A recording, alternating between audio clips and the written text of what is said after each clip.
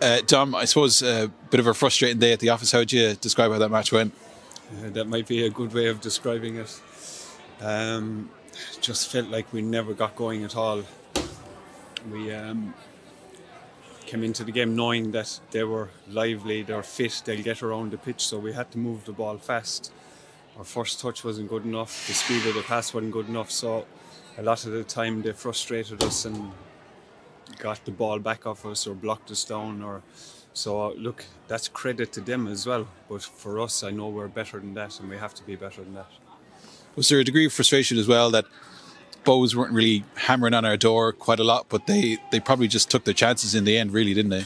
Yeah and again it's credit to them and that like if we if we were the other way around and we'd won with two shots on goal we'd be taking it as well. It's um they might have had the game plan to frustrate us like that because, um, and then even at that, it's the smallest player in the on the field scores from a corner inside our six-yard box, which shouldn't happen.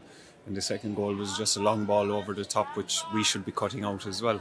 Um, so they're easily avoidable goals against us. And on the other side of it, I suppose we probably had the more chances in the game. But um, look, fair play to them. We're going away frustrated, and so you have to give them credit.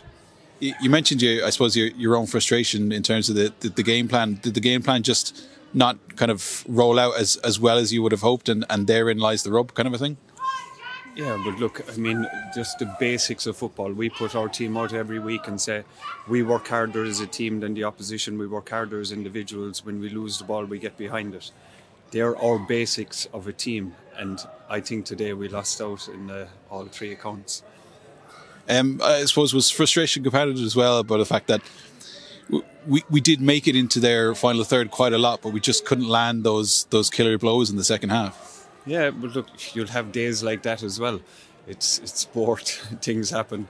But the very least, when things are not going well for you, the very least we should come out of here is with one point.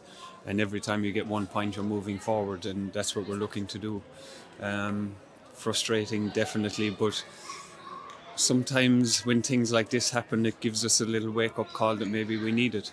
So um, we'll be back to training on Monday and looking to go forward again. Brilliant. Thanks very much, John.